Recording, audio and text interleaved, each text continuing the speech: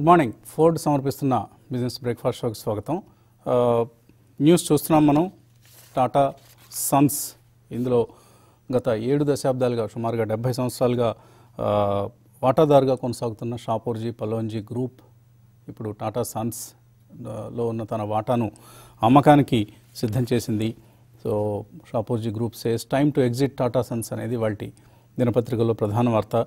So Tata Sons Uh, of course మనందరికీ తెలిసిందే it's a holding company for Tata group of companies so Tata Sons value ప్రస్తుతం తొమ్మిది లక్షల డెబ్బై వేల కోట్లకు పైగా ఉంది. ఇందులో eighteen point three seven percent stake Shapoorji Pallonji గ్రూప్కి ఉంది. సో uh, uh, దీని వాల్యూ సుమారుగా ఒక లక్ష డెబ్బై ఎనిమిది వేల నాలుగు వందల యాభై కోట్లుగా మార్కెట్ అంచనా. సో టాటా సన్స్ వాల్యుయేషన్లో లిస్టెడ్ ఎంటిటీస్ అన్లిస్టెడ్ ఎంటిటీస్ అలాగే టాటా సన్స్ బ్రాండ్ వాల్యూ ఇవన్నీ కలిపి తొమ్మిది పాయింట్ ఏడు లక్షల కోట్ల రూపాయలు అనమాట సో ఇప్పుడు ఇందులో ఉన్న స్టేక్ని ఒకవేళ షాపోజీపాలోంచి అమ్మాలి అని అనుకుంటే ఎవరు ముందుకు వస్తారు టాటా సన్స్లో అంటే టాటా గ్రూప్ ముందుకొస్తుందా ముందుకు వస్తుందా అయితే వాళ్ళు అడుగుతున్న amount one point almost one point eight lakh crores అనేది పెద్ద మొత్తం ఇప్పుడున్న పరిస్థితిలో. కాబట్టి అంత చెల్లించేందుకు టాటా గ్రూప్ సిద్ధంగా ఉందా? లేదా బయట వాళ్ళు ఎవరైనా కొంటారా? ఇవన్నీ ప్రశ్నలు. ఈలోగా మనకు మార్కెట్స్ పరంగా చూస్తే మాత్రం టాటా గ్రూప్ స్టాక్స్లో ఇవాళ ఒక హ్యూజ్ సెల్లింగ్ వచ్చే అవకాశం ఉంది. ఎందుకంటే క్యూ వన్ రిజల్ట్స్లో మనం మిక్స్డ్గా చూసాం. టాటా గ్రూప్ కంపెనీస్లో మెజారిటీ ఆఫ్ ది కంపెనీస్ నష్టాలు ప్రకటించాయి. టాటా స్టీల్ టాటా మోటార్స్ ఇలాంటి కంపెనీస్ అన్ని నష్టాలు ప్రకటిస్తే మనకు Tata consumer Tata Elxsi TCS of course seven thousand crores net profit announce చేసింది టీసీఎస్ లాస్ట్ క్వార్టర్లో ఓవరాల్గా చూస్తే గ్రూప్ మొత్తం గా చూస్తే క్యూ వన్లో సిక్స్ థౌజండ్ క్రోర్స్ లాస్ కనిపిస్తోంది. ఒకవేళ టీసీఎస్ని కూడా తీసివేస్తే thirteen thousand crores loss. So ఇంత cash crunch both of course Shapoorji Pallonji అయితే చాలా హ్యూజ్ లాసెస్లో ఉంది. డెట్ బర్డెన్తో సతమతం అవుతోంది. బట్ టాటాస్ కూడా ఇంత మొత్తాన్ని ఇప్పుడున్న పరిస్థితుల్లో పే చేయడం కష్టం కాబట్టి ఎటువంటి టర్న్ తీసుకుంటుంది ఈ ఈవెంట్ అనేది మనం వేచి చూడాలి. అలాగే మరొక ప్రధానమైన వార్త కూడా ఈ మార్నింగ్ మనకు కనిపిస్తోంది. రిలయన్స్ గ్రూప్లో రిలయన్స్ రిటైల్లో కేకేఆర్ ఇది ఒక private equity company. So KKR five thousand five hundred and fifty crores invest చేస్తున్నట్లుగా జస్ట్ కొద్దిసేపటి క్రితం ప్రకటించారు for one point two eight percent stake. So four point two one lakh crores అనేది Reliance రిటైల్కి ప్రస్తుతం ఉన్న valuation current valuation.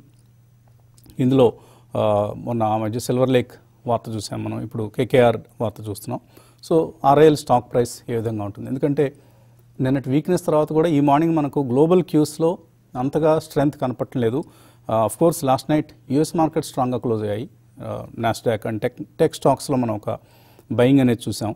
Uh, but ఈ morning అంత స్ట్రాంగ్ ట్రెండ్ మనకి ఇక్కడ ఏషియాలో కనపట్లేదు ఈవెన్ ఎస్ఎక్స్ నిఫ్టీ చూస్తే ఫ్లాట్గా ఉంది లేదా కొద్దిగా స్వల్పంగా నష్టంలో కూడా కనిపిస్తోంది. సో ఈ ఈ- పరిస్థితుల్లో ఇవాళ మార్కెట్ పెర్ఫార్మెన్స్ని uh, నిర్దేశించబోయేది ఇటు ఆర్ఐఎల్ అలాగే ఐటీ స్టాక్స్లో ఉండే మూమెంటం అండ్ మరోవైపు టాటా గ్రూప్ స్టాక్స్లో ఏ విధమైన మూమెంటం ఉంటుంది? డౌన్వర్డ్ ప్రెషర్ ఏదైనా ఉంటుందా? ఇవి మనకు మార్కెట్స్లో కనిపిస్తున్న అంశాలు. అదర్వైజ్ మనకు చూసాం. సో స్మాల్ మిడ్ క్యాప్ స్టాక్స్లో నిన్న కూడా మనకు చాలా హ్యూజ్ లాసెస్ కనిపించాయి. మిడ్ క్యాప్ లూజర్స్ మనం గమనిస్తే Cholamandalam financial can Canara bank MNM finance GMR infra ఇలాంటి స్టాక్స్ అన్నీ five to seven eight percent వరకు నష్టపోయాయి. GSK pharma. అలాగే స్మాల్ క్యాప్ లూజర్స్లో ఇంకా జిఎం నిన్న మార్నింగ్ మనం అనుకున్నాం. GMM Pfaudler ten percent downs circuit నుంచి రిలీజ్ కాలేదు. ఎందుకంటే వాళ్ళ ఆఫర్ ఫర్ సేల్ అనేది మార్కెట్ ప్రైస్ కంటే చాలా తక్కువగా ఉన్నది కాబట్టి. అలాగే Jamna auto TV today wonder holidays Wonderla holidays JB chemicals ఇలాంటి స్టాక్స్ అన్నీ మనకు నష్టాలతో క్లోజ్ కావడం చూసాం. అండ్ ఫార్మా స్టాక్స్లో కూడా లోవర్ లెవెల్స్ నుంచి రికవరీ ఉంది కానీ బట్ హైయర్ లెవెల్స్ దగ్గర మళ్ళీ సెల్లింగ్ వచ్చింది. సో స్మాల్ మిడ్ క్యాప్ స్టాక్స్లో చాలా హై లేవరేజ్ కనిపిస్తుంది మనకు. సో ఆ లేవరేజ్ అనేది తగ్గితే తప్ప మనకు స్టాక్ ప్రైసెస్లో రికవరీ కనప కనపడదు. సో ప్రస్తుతానికి మనకు ఎఫ్ఐఎస్ నుంచి కూడా మనకు సెల్లింగే ఎక్కువగా కనిపిస్తుంది కాబట్టి సెలాన్ ర్యాలీ మూడ్ మార్కెట్స్లో ఉంది ప్రస్తుతానికి. బట్ దీని నుంచి మళ్ళీ బయింగ్ మూడ్ ఎప్పుడు వస్తుంది అనేది కొద్దిగా టైం పట్టే అవకాశం కనిపిస్తోంది. అదర్వైజ్ ప్రస్తుతానికి స్టాక్ స్పెసిఫిక్గా మార్కెట్స్ ట్రేడ్ అయ్యే అవకాశాలు కనిపిస్తున్నాయి. ఎనలిస్ట్ ఏమంటున్నారో అడిగి తెలుసుకుందాం. గుడ్ మార్నింగ్ కుటుంబరావు గారు. గుడ్ మార్నింగ్ అండి వసంత్ గారు. సో మనకు లాస్ట్ నైట్ యుఎస్ మార్కెట్స్ పాజిటివ్గానే క్లోజ్ అయ్యాయి. కానీ ఏషియాలో అంత స్ట్రెంత్ కనపడలేదు maybe one of the reasons could be dollar స్ట్రాంగ్గా ఉండడం ఒక కారణం కావచ్చు. బట్ ఎలా మన మార్కెట్స్ ఎలా బిహేవ్ చేస్తాయి అనుకుంటున్నారు ఇవాళ?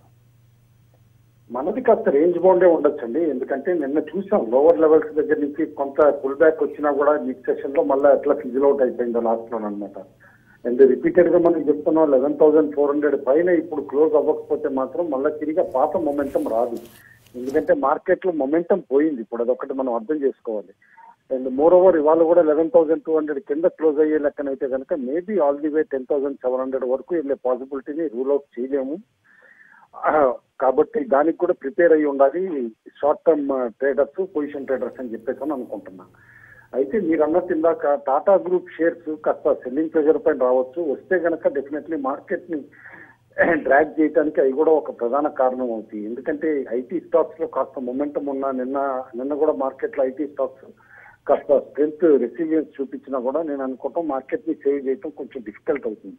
అండ్ మీరు అన్నట్టు ఏదైతే మిడ్ క్యాప్ స్మాల్ క్యాప్లో సేబీ ఆర్డర్ వచ్చిన దగ్గర నుంచి కాస్త మొమెంటం వచ్చి దాదాపు six seven percent mid cap small cap indices పెరగటం కూడా మనం చూసాం. అట్లా వాటిలో కూడా లివరేజ్డ్ పొజిషన్స్ మీరు అన్నట్టు అనమాట. ఎక్కువ అవటంతో డెఫినెట్లీ కట్ చాలా వరకు నిన్న పొజిషన్స్ కట్ చేయటం మనం చూస్తున్నాం. అండ్ మార్కెట్ సోర్సెస్లో అడిగితే గనక స్టాక్ స్టాక్ ఎండింగ్ కూడా అనమాట ఇంట్రెస్ట్ రేట్లు ఒకేసారి one point two five to one and half percent పెంచేశారు. అంటే స్టాక్స్ పైన ఏదైతే కనుక మా ఎవరైతే గనక లెండర్స్ ఉన్నారో వాళ్ళు కూడా కాస్త ఇంకా కరెక్ట్ అవుతుంది మార్కెట్ మార్క్ టు మార్కెట్ మళ్ళీ కట్టగలుగుతారో లేదో ఈ షార్ట్ టర్మ్ పొజిషన్ ట్రేడింగ్ తీసుకున్నారు అనేది కొంచెం భయం కనిపిస్తుంది అందులో. అయితే ఇటు పక్కన చూస్తే మెటల్స్ మాత్రం డెఫినెట్లీ కాస్త వీక్ గానే ఉన్నాయి. ఎందుకంటే చైనా దగ్గర నుంచి అనుకున్నంత డేటా పాజిటివ్గా రావట్లేదు. వాళ్ళు క్లెయిమ్ చేస్తున్నా కూడా అనమాట అండ్ యుఎస్ కూడా అనమాట ప్రెసిడెన్షియల్ ఎలక్షన్ ముందు స్టెబిలైజ్ అయింది. మార్కెట్ అంటే కాస్త షార్ప్గా పడింది కాబట్టి కొంచెం రికవర్ అయింది కానీ టెక్ స్టాక్స్ ఆ మొమెంటం ఇవాళ కంటిన్యూ అవుతుంది అనేది కూడా మనం చెప్పడం కొంచెం డిఫికల్ట్.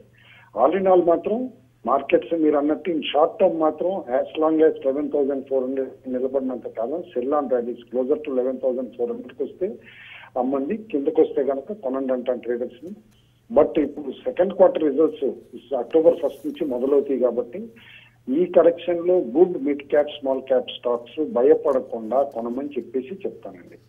భయపడకుండా కొనమంటున్నా. ఖచ్చితంగా ఈ correction maybe the last opportunity అని చెప్పేసి నేనైతే అనుకుంటున్నాను. డెఫినెట్లీ మిడ్ క్యాప్ స్మాల్ క్యాప్లో సెకండ్ సెకండ్ క్వార్టర్ రిజల్ట్స్ ఫలితాల తర్వాత స్ట్రాంగ్ ర్యాలీ మళ్ళా వచ్చే పాసిబిలిటీ కనిపిస్తాను. ఓకే అండి. సో చిన్న విరామం విరామం తర్వాత ఆ, బాలగారితో రాజేంద్ర గారితో మాట్లాడదాం.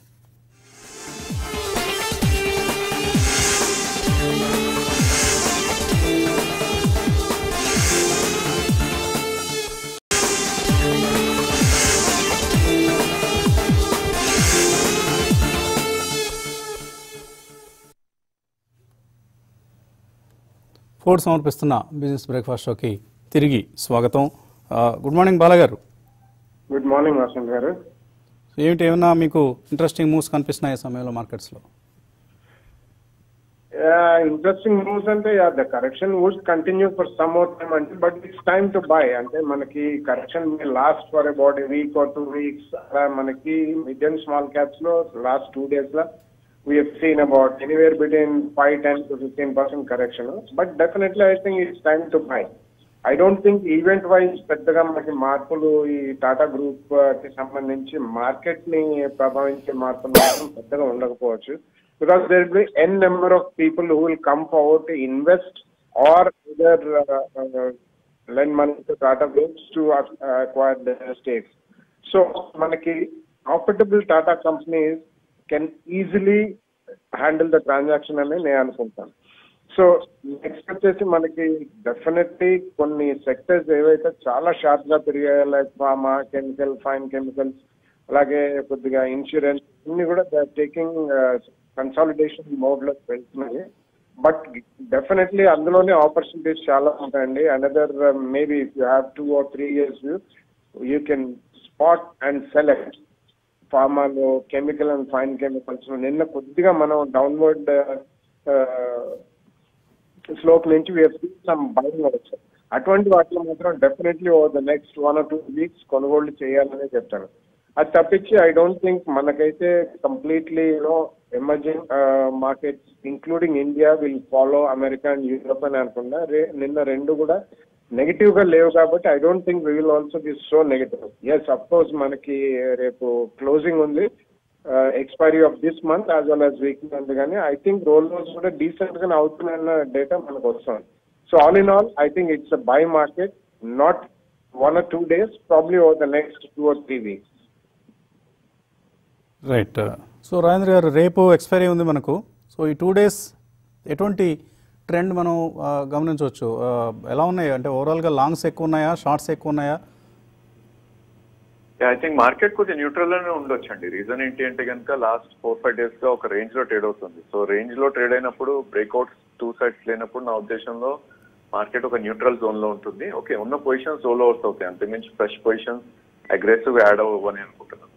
నిన్న మనం చార్ట్ ప్యాటర్న్ చూస్తే కనుక ఫైవ్ వన్స్ మనం గత కొన్ని రోజులుగా చెప్తున్నాం. Eleven thousand one one one దగ్గర సపోర్ట్ ఉంది అని. సో ఆల్మోస్ట్ నిన్న లెవెన్ థౌసండ్ ఎయిటీ ఫోర్ దాకా వచ్చి I think eleven thousand one fifty three దగ్గర క్లోజ్ అవటం చూసాం సో ఒక ఎక్స్టెండింగ్ బాటమ్ ఫార్మేషన్ మనం చూసాం. లెవెన్ థౌసండ్ ఎయిటీ ఫోర్ ఏదైతే ఉందో. In case eleven thousand eighty four breach అయింది అంటే కనుక I think ten thousand eight thirty five కూడా మార్కెట్ రావచ్చు. అంటే అక్కడ నుంచి కూడా ఆల్మోస్ట్ ఒక two hundred two fifty points పడే ఛాన్స్ ఉంది. బట్ మార్కెట్కి అప్సైడ్ కన్ఫర్మేషన్ రావాలంటే కనుక decisively eleven thousand three ninety three ఏదైతే ట్వంటీ డే మూవింగ్ యావరేజ్ ఉందో దాని above at least one or two days trade అయ్యే ట్రేడ్ అవుతేనే డిసైసివ్లీ అప్ ట్రెండ్ ఉండే ఛాన్స్ ఉంది.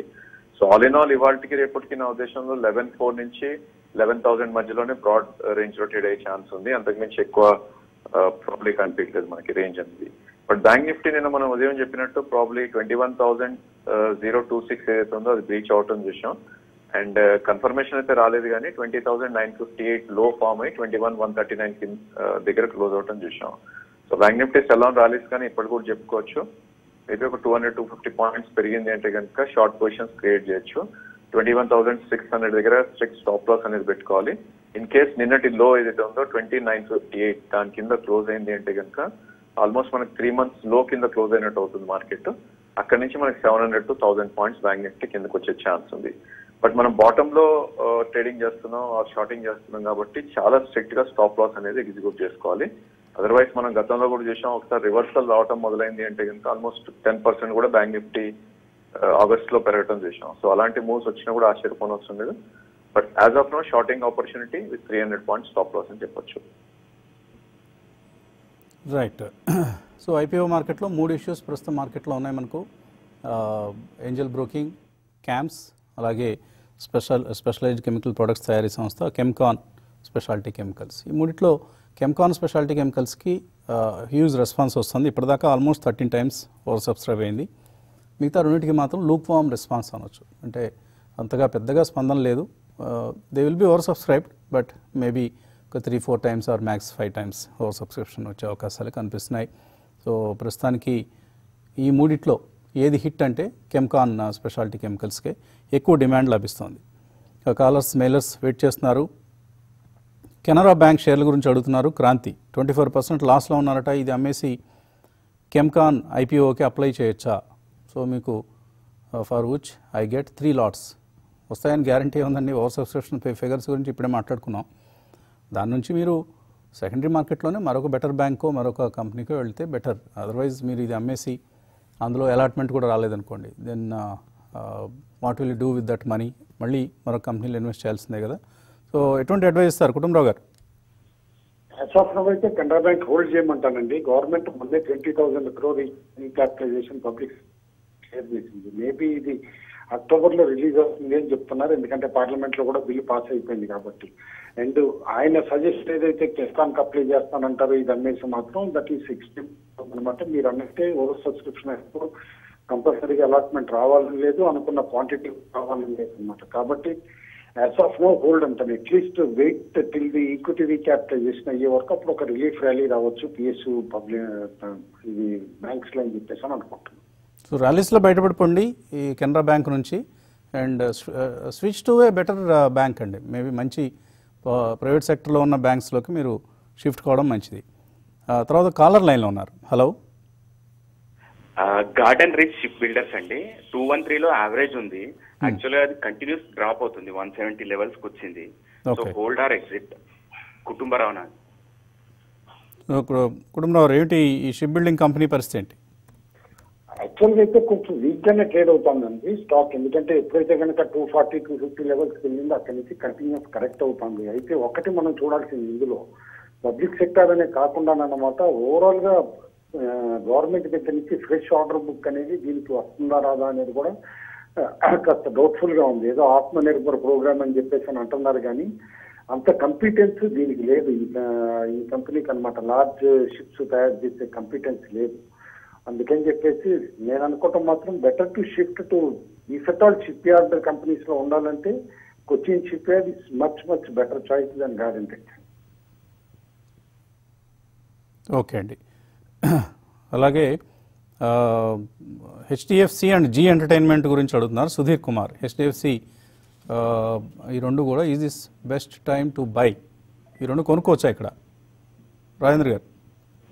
Yeah HDFC probably medium to long term ఉంటే ఎస్ అనే చెప్తానండి. సో స్టాక్ మనకి పర్సనల్ కూడా probably there is a good support at one five seven three so sixteen seventy దగ్గర మనకు క్లోజ్ క్లోజ్ అయింది నిన్న. సో అరౌండ్ హండ్రెడ్ రూపీస్ పడినా కూడా టూ త్రీ ప్రైస్ పాయింట్స్ తీసుకోమని చెప్పొచ్చు తీసుకోవచ్చు. Maybe three months six months view ఉంటాయి and Zeetele probably even Zeetele is a good buy అండి ఈ స్టేజ్లో. అండ్ మంచి కరెక్షన్ కూడా రావడం చూసాం. ఆల్మోస్ట్ టూ ట్వంటీ ఎయిట్ నుంచి వన్ నైన్టీ సెవెన్ దాకా పడతాం చూసాం. బట్ జీటెలీలో ప్రాబ్లీ వన్ సిక్స్టీ నైన్ కింద క్లోజింగ్ బేసిస్ స్టాప్ లాస్ పెట్టుకోవాలి. Current price one ninety seven నుంచి వన్ ఎయిటీ త్రీ మధ్యలో అక్యూమిలేట్ చేయొచ్చు. శశాంక్ కువైట్ నుంచి ఫ్యూచర్ రిటైల్ వన్ సిక్స్టీ టూలో తీస్తున్నారట. ఇప్పుడు థర్టీ పర్సెంట్ లాస్లో ఉన్నారు. హోల్డర్ ఎగ్జిట్ మనం ఆ- మెజర్ టైంలోనే కామెంట్ చేయడం జరిగిందండి. ఒకళ్ళ గెయిన్ మరొకరికి లాస్ అవుతుందని. So Reliance is the winner in this case future group share holders have lost money so మనం చూసాం షేర్ ప్రైసెస్ అన్నీ అక్కడ నుంచి చాలా గణనీయంగా తగ్గడం చూసాం. సో లాస్ బుక్ చేయొచ్చా? కుటుంబరావు గారు ఆర్ ఒక్కటైతే నేను చెప్తానండి. I. Stick to my view on the day of deal announcement చేసినప్పుడు ఇది పెద్ద ఫ్రాడ్ డీల్ అని చెప్పేసి అని నేను చెప్తున్నాను ఎందుకంటే లిస్టెడ్ కంపెనీస్ని స్లంప్ సేల్ కింద అమ్మటం బియానీ గ్రూప్ అండ్ రిలయన్స్ కొనటం అంటే షేర్ హోల్డర్స్ని టోటల్గా మోసం చేశారు అని చెప్పేసి అని. అందుకనే మనం కంటిన్యూస్గా చూస్తున్నాం స్టాక్స్ అన్ని పట్టడం కూడా. ఇన్ఫాక్ట్ ఫ్యూచర్ రిటైల్ ఇప్పుడు నైన్టీలో ట్రేడ్ అవుతుంది. అయితే పది షేర్లు వన్ ఇస్తామని చెప్పేసి అని అంటారు మధ్య దేశాలు మరి ఫ్యూచర్ ఎంటర్ప్రైజెస్ ఏమో twelve rupees ninety paisa trade అవుతాను. ఈ ఆర్బిట్రేజ్ ఎవరికి బెనిఫిట్ అండి? ఎందుకంటే బయట ఎవరి దగ్గర రెండు కంపెనీలు ఉండవు. ఓన్లీ ప్రమోటర్స్ ఉంటాయి అది స్లమ్ సేల్ కింద వాల్యుయేషన్ చేసి అమ్మేస్తున్నారు. It's a total fraud actually నన్ను అడిగితే కనుక this deal should be probed in detail by SEBI అని చెప్పేసి అని అనుకుంటున్నాను ఆయన ఈ రేట్లోనైనా ఎగ్జిట్ అయిపోవటమే బెటర్. సో లాస్ట్ బుక్ చేయండి. లాస్ట్ బుక్ చేసి try to get this loss compensated in another stock తర్వాత ఎస్బీఐ గురించి అడుగుతున్నారు విజయలక్ష్మి ఎస్బీఐ ఇక్కడ కొనుక్కోవచ్చు one to two years holding కోసం బాలాగర్ నాట్ బ్యాంకింగ్ సెక్టర్ ఎస్పెషలీ మనకి banking will not do so well over the next two years so SBI public sector బ్యాంక్స్లో though leading and the biggest bank in India అయినా కానీ I don't think they should buy into banking two years ఉంటే banking non banking financial పక్కన పెట్టి winnowing సెక్టర్స్లో వెళ్తే better so నా ఉద్దేశంలో ఏదైనా mid cap chemical pharma కంపెనీలు కొనుక్కుంటే ఆర్ టెక్నాలజీ ఈ మూడు రంగాల్లో ఏదో ఒక కంపెనీ కొనుక్కుంటే బెటర్ లాస్ట్ టెన్ ఇయర్స్లో కూడా SBI not given any return it may be a good bank not a good investment so మంచి కంపెనీ అయినంత మాత్రాన మంచి ఇన్వెస్ట్మెంట్ అయి తీరాలన్న నియమం ఏది లేదని మనం వెబినార్స్లో మాట్లాడుకున్నాం. సో అది ఎస్బీఐ లాంటి స్టాక్స్కి వర్తిస్తుంది ఐటీసీ లాంటి స్టాక్స్కి వర్తిస్తుంది. They are good companies but మార్కెట్లో రిటర్న్స్ ఇవ్వడంలో మాత్రం వెరీ పూర్ పెర్ఫార్మెన్స్ సో ఈ- ఇటువంటి అంశాలను మనం మార్కెట్లో విచిత్రమైన విషయాలను గమనిస్తూ ఉంటాం. వాటిని గమనించి పాఠాలు నేర్చుకుంటూ ఇన్వెస్ట్మెంట్ ప్రక్రియను ముందుకు తీసుకెళ్ళాల్సిన అవసరం ఉంటుంది. ఇది ఇవాళ breakfast show keep watching TV five